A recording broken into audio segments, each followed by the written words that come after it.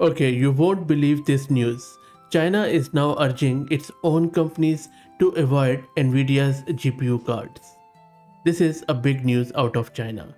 The government there is now urging its leading tech companies, including Alibaba, Tencent, Baidu, ByteDance, and few others, to avoid buying Nvidia's new H20 GPU cards. This is Fahd Mirza, and I welcome you to the channel. In this video, I am going to explain in very simple yet technical words as what exactly this news means for the AI world because most of the open source top leading models are coming out of China. So this could be a far far reaching impact news here. Please like the video and subscribe to the channel as that helps a lot. So what is happening here? The thing is that the H20, while technically allowed for export under US rules, is seen as a crippled version of NVIDIA's flagship H100 cards. For China, buying a watered down chip doesn't just mean weaker AI performance, it also risks slowing down their entire ambition to lead in artificial intelligence, and I believe that is where everything is sprouting from. Let's dive into this story to see why China is avoiding the H20, what makes the chip different from NVIDIA's global products, and how this decision could reshape the future of AI computing. To understand this, let's rewind a little. Back in 2022, the US government imposed strict export controls on advanced chips going to China. That included NVIDIA's A100 and H100 GPUs, which are the engines behind today's AI boom. These chips are what power systems around the globe which are running on AI and even the large scale data center which are servicing this and of course there are self-driving cars. For China's tech giants, losing access to those GPUs was a massive blow. They were suddenly cut off from the most powerful AI infrastructure in the world. Nvidia's response was clever. Instead of abandoning China and its huge market, they designed special versions of their chips, first the A800 and more recently the H20. These chips are built on the same advanced architecture, but they have been deliberately restricted in performance to comply with US export rules. But here is a twist and a big one. Instead of embracing the H20 as a compromise, China is telling its own companies don't rely on it. The official reasoning is twofold, and you can check out details in this Al Jazeera's article, and I will drop the link to it in video's description.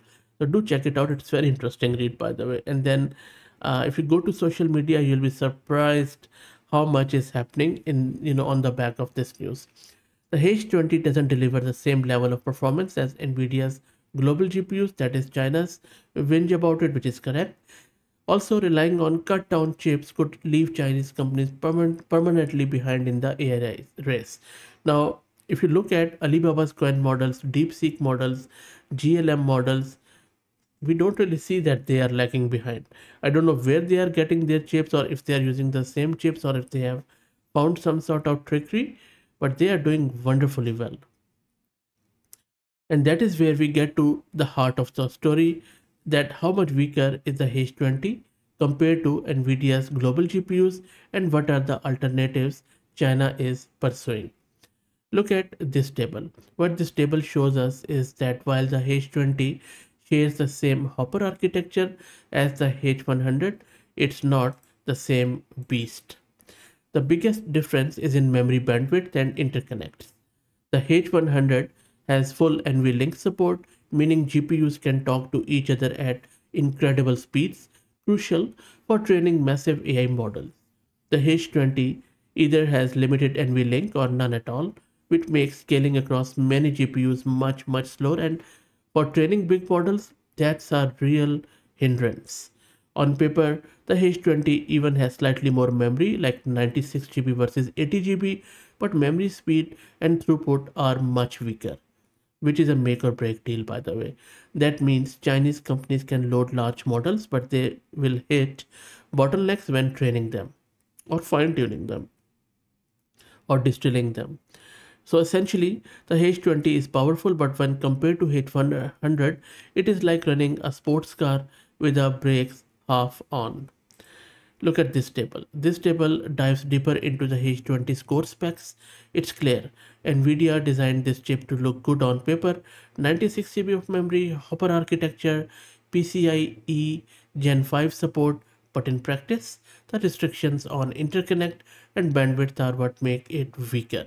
Training a massive AI model isn't just about having raw compute, it's about being able to connect thousands of GPUs and let them share data instantly. That's where the H20 stumbles and why Chinese companies are wary of depending on it. So if Chinese firms are being told to avoid the H20, what's the alternative there? This is where local players like Huawei come in. Huawei's Ascend 910B is already being promoted as a domestic alternative with performance that rivals the A100 in certain benchmarks. Meanwhile, Alibaba's T-Head and Baidu's uh, Kunlun chips are also advancing and we have covered all of them on the channel if you're interested. By pushing companies away from the H20, China is essentially saying don't settle for compromised foreign chips, double down on local innovation.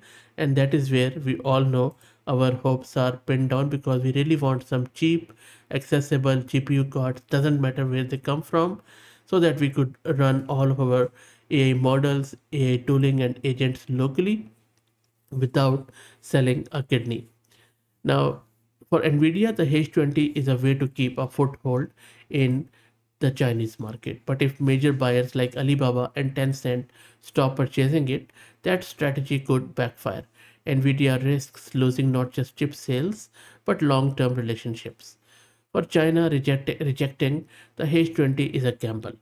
In the short term, their companies may struggle and they will struggle with less powerful hardware, but in the long run, it could accelerate the growth of their domestic chip ecosystem, making them less dependent on the US altogether. Because look, AI is here to stay. It's a long game. We don't have to, you know, produce something tomorrow. It can wait. But I'm more than sure that is going to happen. If not from China, some other part of the world, that Nvidia's monopoly will be broken. And for the rest of the world, the story of H20 is more than just a chip release. It's a reminder that AI is no longer just about algorithm or data. It's about geopolitics, supply chain, and national strategy. The real race isn't just who has the best models, it's who controls the silicon they run on. I also want to introduce you to the sponsors of the video who are Eigent.